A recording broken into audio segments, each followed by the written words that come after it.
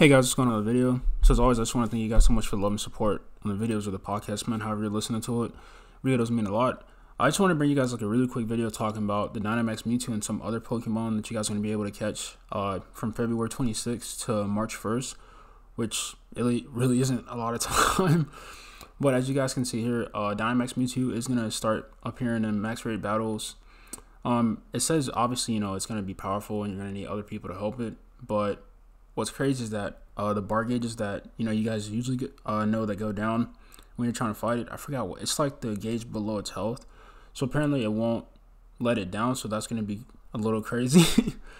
um, it says no trainer will be able to catch it, but I'm kind of thinking you might be able to get it with the master ball, but I could be wrong. But it also says like even if you can't defeat it, you're gonna get some rare uh, stuff like ability capsules, uh, whatever those are. And it also says that um, Mewtwo isn't going to be the only uh, rare Pokemon. You're also going to be able to see Bulbasaur, Ivysaur, Charmander, Charmeleon, Squirtle, and Wartortle. And it says, obviously, you know, Mewtwo's going to be hard, but you can try to catch these. And it says, again, for some guys that don't know, you know, how to challenge stuff, it says, to challenge these Pokemon in max raid battles, you need to receive the latest information about the wild area.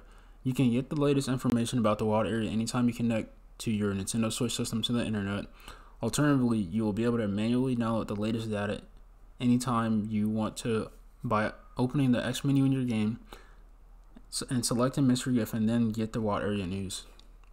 So that's some, you know, tidbits for you guys, you know, until March 1st, which is tomorrow, I believe.